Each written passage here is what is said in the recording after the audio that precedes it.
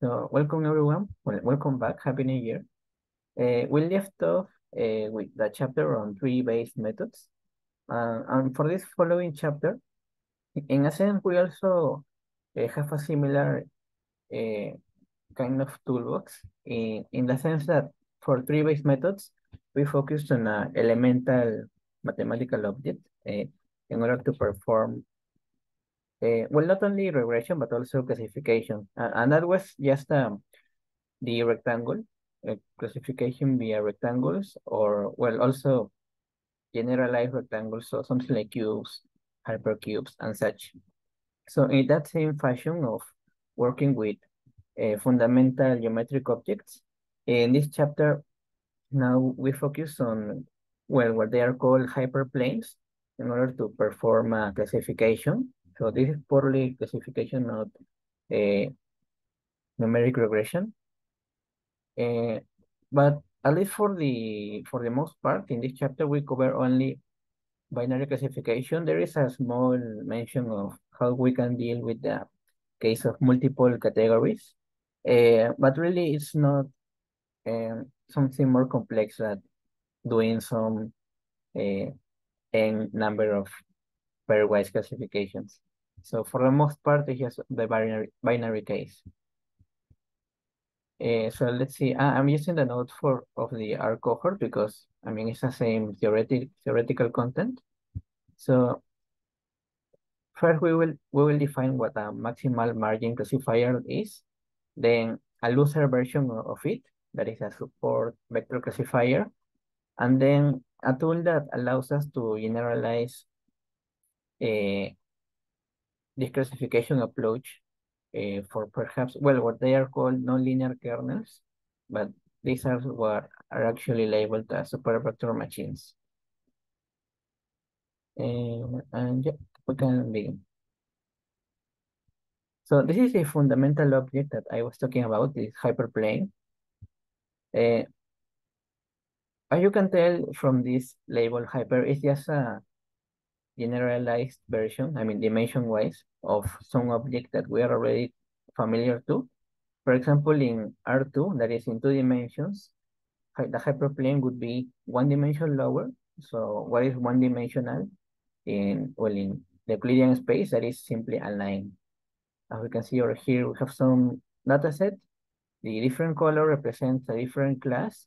And for this special case, uh, we see that uh, a line is sufficient to classify sorry to classify this this category. Now, for for the case of three dimensions, hyperplane would be also one dimension lower of the total space. So in this case, it would be a plane.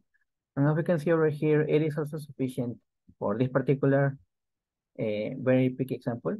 It's sufficient to classify this to classify these observations into these two categories. Uh, and so for, well, that is the geometric sense of what a hyperplane is.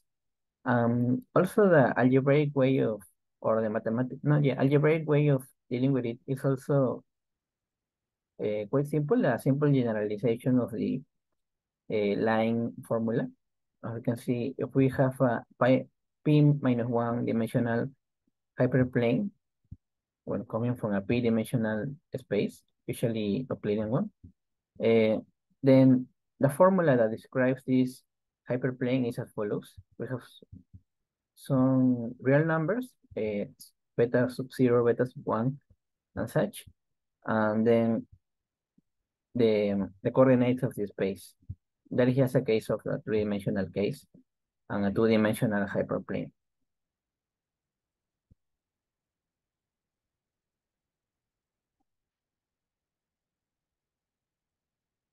Now, that is a description of the mathematical object, but what, what we want to do with such object is to find, well, if it exists, at least to look for one, and that allows us to split the whole space into, in, into the two classifications of our data.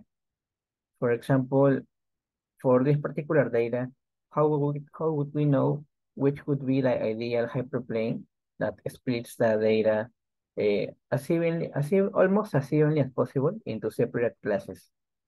We have these three candidates, uh, and for we need a quantity, quantitative way of determining which is better. Um, at least from a simple inspection, it does look that this hyperplane is the best that uh, it splits a dataset into different categories. So, so the idea uh, to, to to measure uh, how well, no, sorry, how an observation is classified via the hyperplane, uh, well, we can use that via the following representation. So we have our formula for a particular hyperplane, in this case of dimension, I think it's P or P minus one. Uh, yeah, P, P minus one.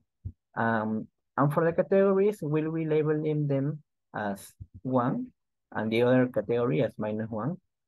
So uh, an important property that this hyperplane has is that it, uh, of, of the, sorry, of this particular one over here, the separating one, is that it, for the cases where the category has a value of one, this particular formula is positive. And for the other case, where this observation has been labeled as minus one, then the same formula uh, now outputs a negative number. So it, it is sufficient via the sign of this formula uh, to know uh, which category to assign to, to a particular observation, right, to this observation over here. Uh, well, and that's what they mentioned over here. You simply look at the uh, at uh, but also we, we not uh, we do not only have a sense of uh, to which category to classify, but also a sense of uh, how trustworthy is that classification. And, and a simple idea is to, to take into account not only this sign over here of this, but also now given this separating hyperplane, well, what is the distance of uh, an observation to that particular hyperplane? For example, for this point over here, it is quite close to the hyperplane, so we may assume that maybe for this particular observation, uh, we have uh, a low confidence uh, of this particular classification. In this case, classification as, as blue. Whereas for this case, is observation pretty far away from the hyperplane, we would have um, a greater no yeah greater confidence in the that this that this observation has been classified correctly because the distance to a hyperplane is greater. Uh, and that is what is being measured by, well, this is also uh, this expression by this.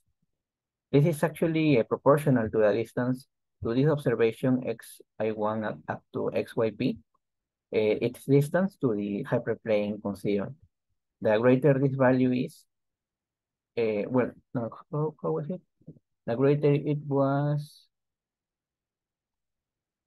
in in module, so ignoring the, the sign, only considering positive, then the higher the confidence for the classification, uh, and this and the closer this value is to zero, so something like this, or this, then the lower our confidence is uh, for this particular uh, classification.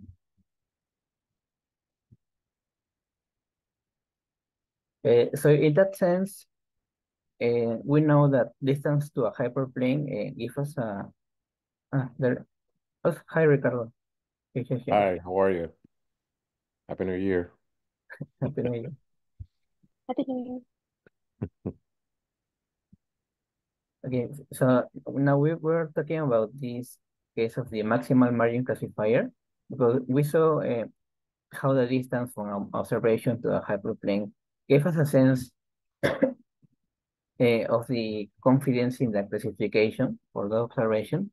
So what we want to look at, to look, sorry, what we want to get from this data is uh, which is, well, if it exists, actually it does exist, which is the, the hyperplane that it is the farthest away from this training dataset.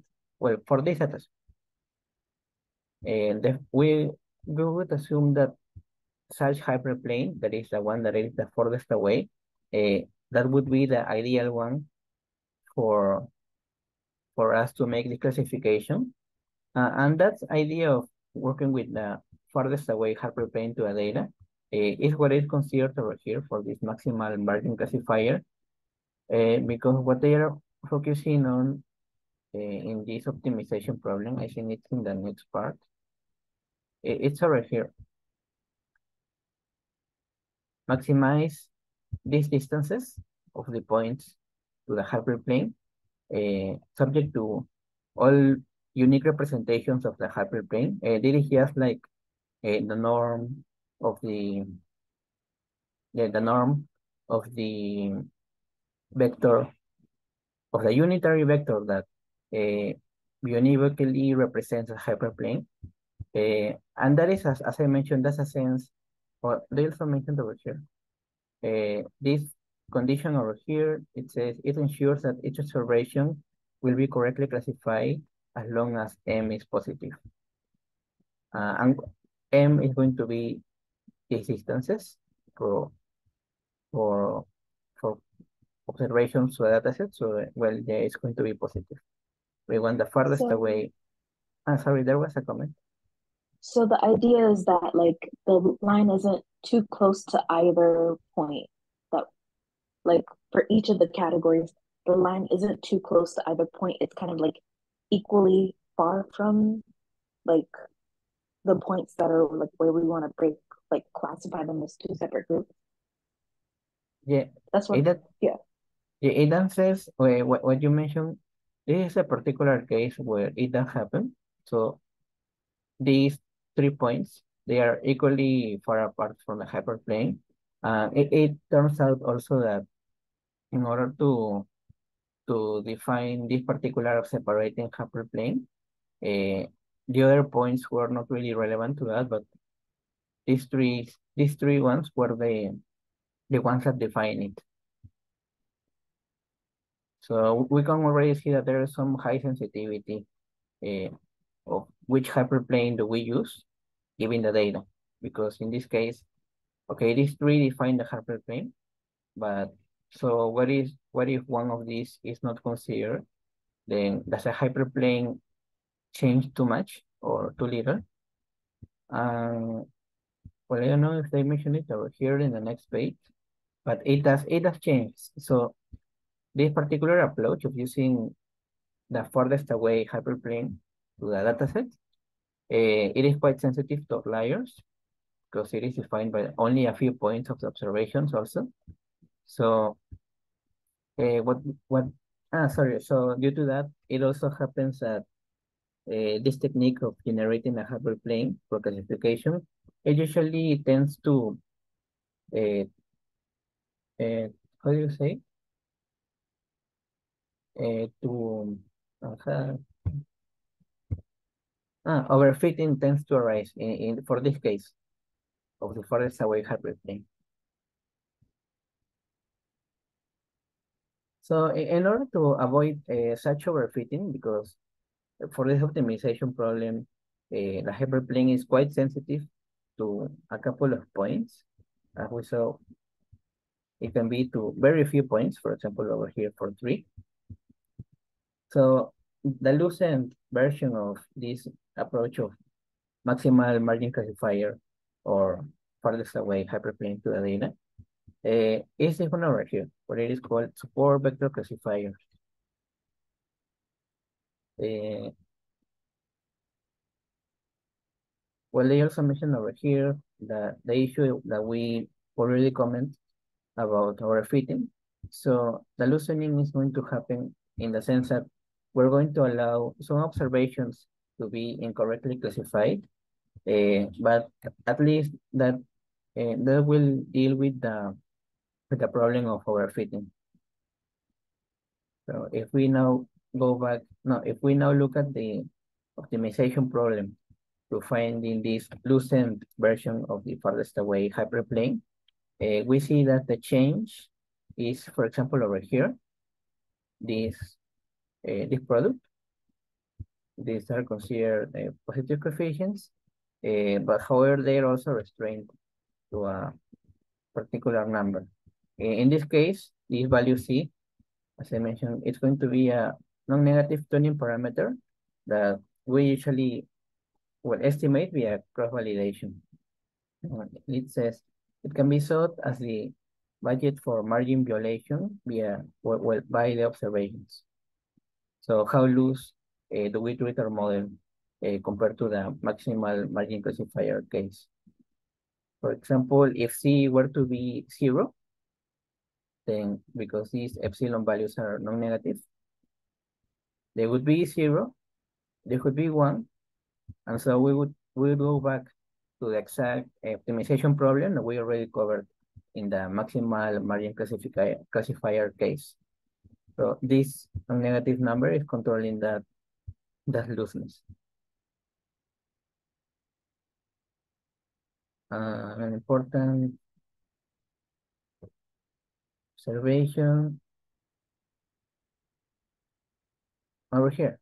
For example, it says that if C is positive, then no more than C observations can be on the ground side of the hyperplane.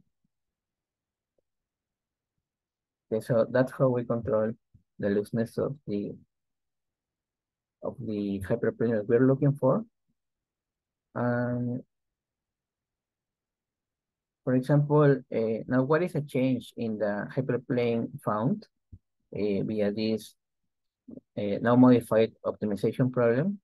let's see for this particular example, what does it say in the description? So a support vector classifier was fit.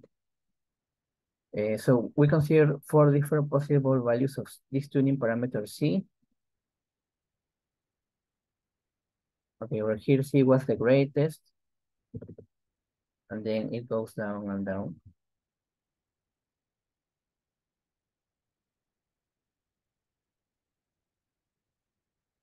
And it mentions, when C is large, there is high tolerance for observations being on the ground side of the margin.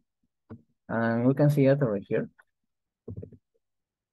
For example, for this first graphic, there are like one, two, three, four, five observations in, in this area where we would assume for them to be all of the purple class. Now, uh, we lower a little bit this value C, this tuning parameter.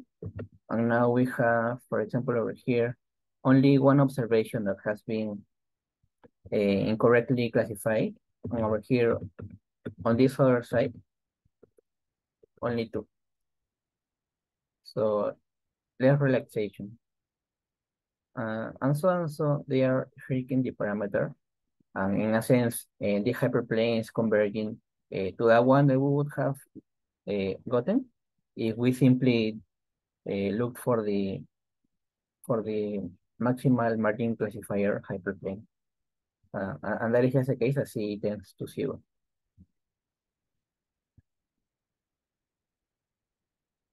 And this is an important uh, aspect of this tuning parameter. It says C controls the bias variance trade-off of the classifier.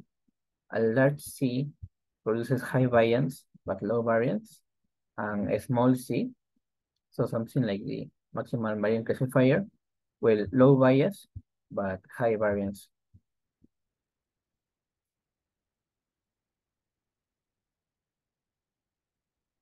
Mm, okay. Uh, and now, because we, we've been working with hyperplanes, I mean, uh, these are some quite ideal uh, vector spaces.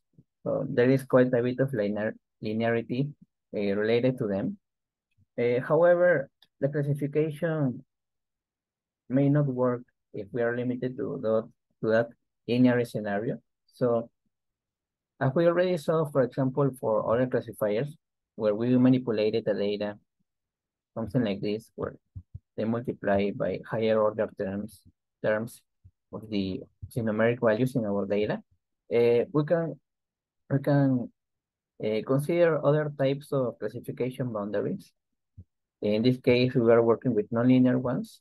And perhaps uh, a simple approach, uh, we have already been doing in other classification models, is simply to not pass the data directly to the model, but uh, these higher order terms uh, that we get from from from the data, but by manipulate manipulating it in some way.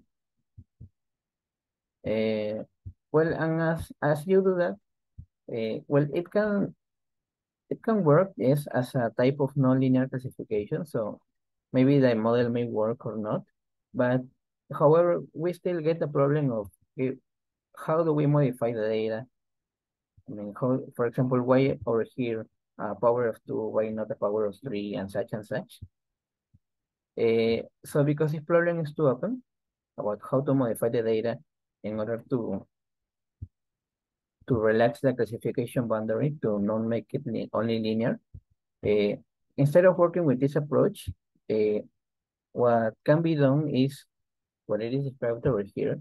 In the case of support vector machines, uh, and what is solved is that uh, in general, yeah, data, it cannot be split simply via hyperplane. However, if you embed this data into a higher order dimensional space, so for example, when we were working with only the plane, if we were to move, uh, let, let me show the picture maybe. It would be much clearer. Over here.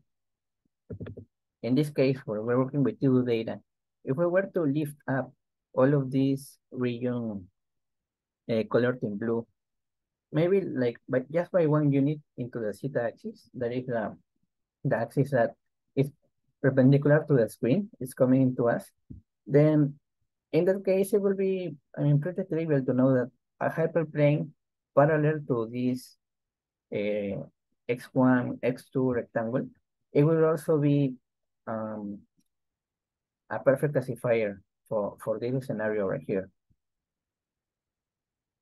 So we're going to, to be doing the same, that is lifting our data into higher order, higher order dimensional space. And then in, that space, maybe it does exist uh, some also higher order hyperplane that does indeed separate the data into, into the appropriate classes uh, to which they belong. So that is what we do over here. In the case of support vector machines, uh, and that and that transformation of the data to embed it into a higher order dimensional space, we do that by what is called a kernel function. Uh, for what we have been doing in, these previous cases of the maximal margin classifier and the support vector classifiers, I think the kernel was exactly this one. I'm not sure. Uh, but now because we are lifting the data to higher dimension, uh, other nonlinear kernels can be considered. And this is just an example of a polynomial one. Um, but in particular, Uh, the, the author does mention, for example, this type of kernel, the radial kernel. Um, well, this could be the, the formula used. Uh, there seems to be, I think there were a couple of, how do you call it? Uh, what was the name of the tuning parameters that we get via cross validation? Ah, hyperparameters, I think. Uh, in this case, I think that was the purpose of lambda you, you also don't need to, as a hyperparameter, given this uh, radial kernel. And an idea what this function is doing is, for example, this type of separation. As you can see, it, it's like uh, this part over here. Uh, how do you graph? You can imagine that over here, there is some big circle, and that as we consider now a bigger circle over here, this is the bigger circle. This region in between uh, uh, serves as a separator uh, for the classification that we want to do. So in that sense, it's, it's radial. So like many rings, uh, one bigger than the other. And let's see, there is a comment. Uh, Ricardo mentioned StatQuest support vector machines. Clearly explained. Thank you, Ricardo.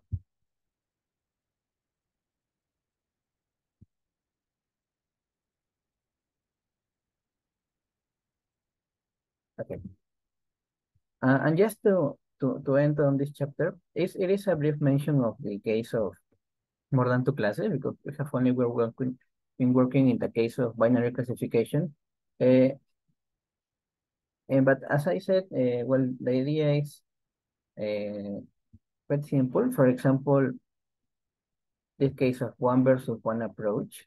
So we compare all the possible pairings of classes and see what would be the, the classification that we get. Uh, and just from, from those count that we get for all of these pairs, we would assign to the most popular uh, assigned classification, no, assigned class. So like just compare one by one and then do a majority vote. Uh, and then another one is this one over here, one versus all. So in this case, you feed one of the classes and then compare it to the rest. So now this uh, K classes problem has turned into a binary one. And because it's binary, uh, well, it's, it's the same case that we have already covered. So we know what to do. Uh, and yes, the lab is pending. Uh, however, we, we do not do this because it's in Python. So we will be covering the exercises uh, next week. Are there any comments, questions? I do have a question, but after you, perhaps.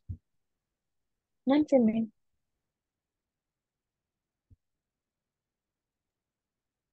Did anyone get this part over here?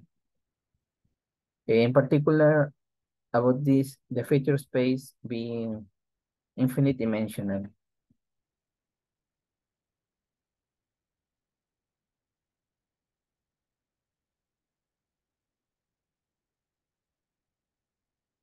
The feature space is supposed to be uh, this higher order space where we embedded the data into, right?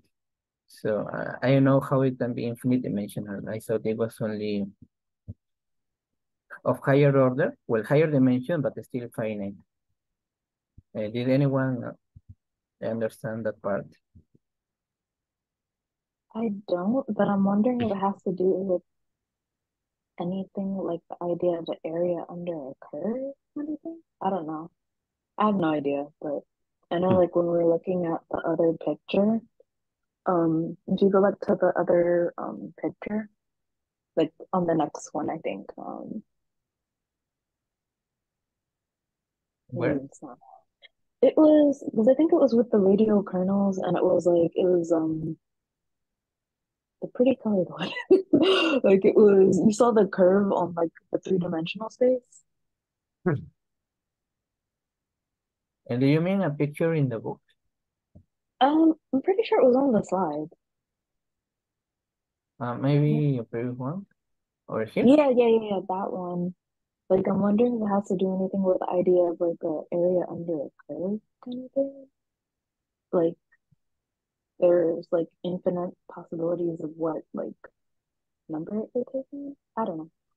I have no idea, but that was like kind of when I look like that, looked at that, it kind of reminded me like the idea of like a um normal distribution and stuff like that. Mm. Yeah, I'm not sure as well. I mean, because even this particular area under this, well, under this volume, I think it's finite, right? Uh, like the integral of this expression. I mean, it has to be because it's, it's also, I mean, just a multiple of a, a, a density of some, how do you call it? Variable letter? Uh, uh, because it's a, it's a density of some multivariate normal, so it's the rest has to be, well, the volume has to be finite. Mm, So yeah, okay. I'm not, I'm not sure. Uh, but I well, think still, was gonna say something. can you repeat? No, I was just saying, I think Ricardo was saying something at one point. Yeah, Ricardo, do you have uh, a comment? Yeah, I, I was looking for that uh for the infinite dimensional and I found this link. Okay. Let's see. Yeah. If you can press it, yeah. It says that the RFBF kernel is a projection into infinite dimensions. Okay. And start doing the mathematical uh, proof about it.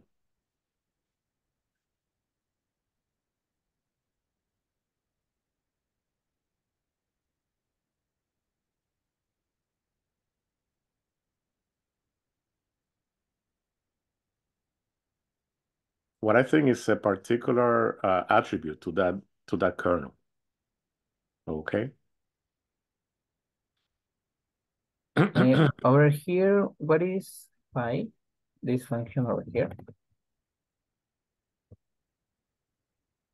Uh, projections vector It's sets. a function of projection vectors into a new vector space. Yeah. Okay, so this would be, uh, no.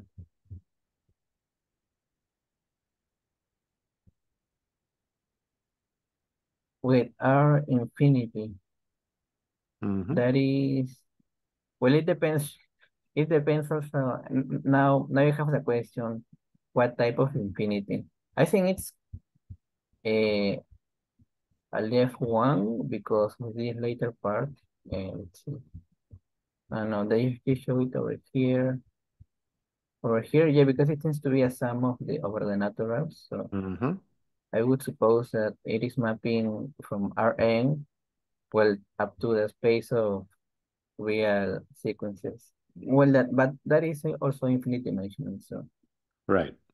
uh, well, I don't get this like right now, but it, does seem very interesting. Or I will have to check it out later. So, thank you very Mhm. much, Ricardo.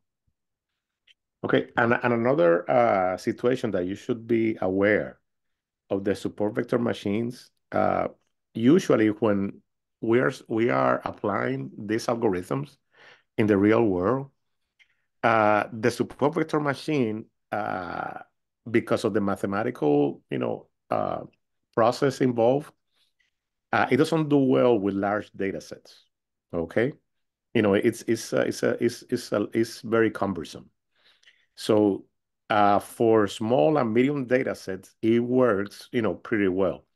But for big data, uh, support vector machines, you know, it won't, uh, it, it won't cut it. You know, it, it- you you need a, a lot of resources, uh, you know, to to have it to have an efficiency, uh, uh, you know, uh, in terms of the hyperparameter tuning and also in production.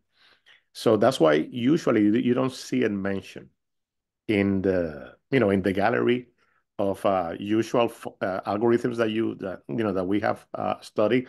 For example, uh, gradient boosting, uh, decision trees, etc.